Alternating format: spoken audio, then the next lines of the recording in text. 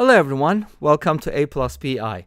This channel is all about complex numbers and in this video we're going to be solving a very radical equation. We have the square root of z plus the square root of z plus i equals i and we're going to find the z values that satisfy. We're also going to be looking at the result from Wolfram alpha see if they agree with what we find. Alright, so when you have a radical equation with real numbers, what do you do? You square both sides. Obviously, with the complex numbers, it's a different story because there are two square roots of a complex number. So we need to be careful and we also need to check our work. So let's go ahead and start by squaring both sides. Now, the squaring on the left basically takes out the outer square root, giving us z plus the square root of z plus i equals i squared, which happens to be negative 1. One thing that you should never ever forget, forget everything about complex numbers, but never forget that i squared is equal to negative 1. Now, we have a radical still, so let's go ahead and isolate it. That way we can square both sides again, and we can kind of write this as negative z minus 1. Or negative 1 minus z, doesn't matter, no big deal. Now let's go ahead and square both sides one more time. And of course, squaring both sides will create some problems. We have to take care of them, right? It could bring in extraneous solutions, such a fancy word, right? Solutions that don't satisfy the original equation. So z plus i from here is going to equal z squared. And you can think of this as z plus 1 squared because the negative 1 squared is going to be positive 1, so you can basically take it out or get rid of it completely. And this is a little easier to handle.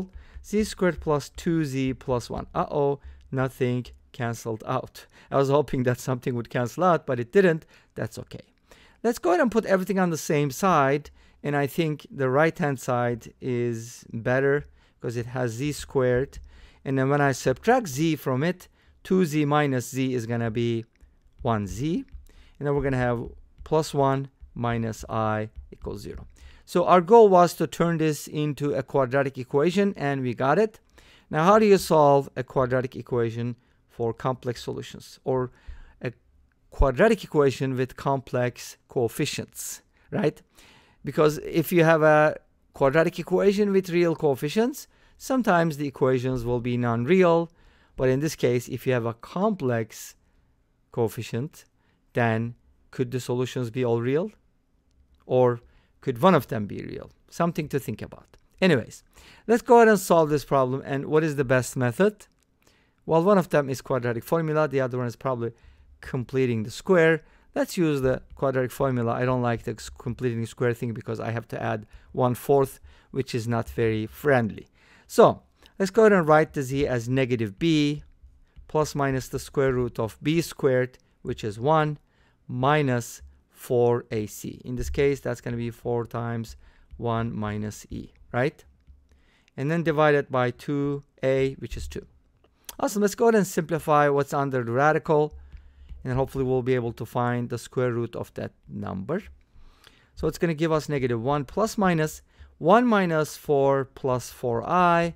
That means I have negative 3 plus 4i under the radical and that's divided by 2. Okay, can we square root negative 4, negative 3 plus 4i easily? Let's think about it. There's different ways to find the square root of a number. First method is, there's a formula, but I don't think you want to memorize it. Set it equal to a plus bi, which is the name of this channel, by the way, right? And then you can square both sides and try to find the a and b values. Negative 3 plus 4i is going to equal a squared minus b squared if you square this plus 2abi. And then if you set the real parts equal, this is going to be a negative 3 and this is going to be a 4. Meaning a squared minus b squared is going to be negative 3 or you can write it as the negated form which I like better. b squared minus a squared is positive 3 and ab is equal to 4. I mean half of 4 is 2, right? Okay. Yes, here we go. So that's our system. Can we solve it? Absolutely. Replace b with 2 over a, turn it into quadratic, so on and so forth. Do a lot of substitution. But wait a minute. Let's try to guess the answer because it should be easy, right? Can we find two numbers whose product is 2? Hopefully they are integers. And when we square them and subtract them, we should get 3. Yes, 2 and 1 work. Awesome, right? So from here, b can be 2 and a can uh, a can be 2 and b can be 1. Wait a minute, is it the other way around? Yeah, I messed up, sorry. I just, because I switched it around. So a is supposed to be smaller. a is 1, b is 2. Great. Now, can it be anything else? Absolutely, because we're squaring them and we're multiplying them. So that kind of takes care of the negatives. They can also be negative 1 and negative 2. That's actually a good way to look at it because if you remember, uh, the two square roots of a complex number are opposites. In other words, if one of them is a plus bi, the other one is negative a minus bi. Because when you square these numbers, you get the same thing. I'm not talking about conjugates. They're not conjugates. They are, well, they could be conjugates, I guess, if a is 0, but we're talking about in general, they're not. Okay? So, we got the AB values. Therefore, uh, the square root of negative 3 plus 4i is going to be 1 plus 2i or negative 1 minus 2i. Great. Let's go ahead and use both of these values and then we're going to see what happens. Let's go ahead and clean up this area and then I want to hold on to my square roots of course 1 plus 2i and the opposite of that. So let's go ahead and go with the 1 plus 2i z sub 1 negative 1 plus by the way the plus minus sign will be taken care of by the roots because one of them is the opposite of the other. Let's just go ahead and keep everything plus. So we could use 1 plus 2i first, divided by 2. And then this should give me, when the negative 1 and the positive 1 cancel out, this should give me i. So that's one of the solutions. And z sub 2 is going to be negative 1 minus 1 plus 2i over 2. But this is just going to give you negative 2 minus 2i and negative 1 minus i is going to be another solution. But guess what? We need we should we should we need to check for extraneous solutions. Let's go ahead and do it and then we're going to look at the results from Wolfram alpha. Okay? Now, if you consider the original problem, this is what we had. And now if z is i, replace z with i, you're going to get the square root of i plus the square root of 2i. And we expect this to be equal to what? What was it equal to? i, right? Okay, let's see if this is going to work. Now, what's the square root of 2i? 2i has two square roots. If you remember, when we square 1 plus i, we get 2i.